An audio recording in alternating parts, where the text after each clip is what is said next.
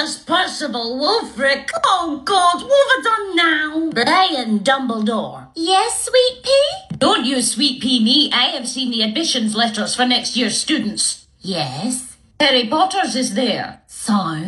It's addressed to the cupboard under the stairs. Yeah, I saw that. Bit suspicious. I told you that day that they were dreadful, and now 11 years later I am proved right at Harry's expense. Minerva, you're overreacting. He might like it in the cupboards. Sorry, what? He might just prefer a minimalistic lifestyle. Do not sit there on that throne and tell me that this boy likes living in a cupboard. Also, we don't know his behaviour yet. He might be the worst. Maybe he deserves it. I am gonna throw that throne out the window. Don't be silly, Minerva. It's my favourite. I just bought it. Is that so? Oh, Minerva, when can I have my throne back? In 11 years!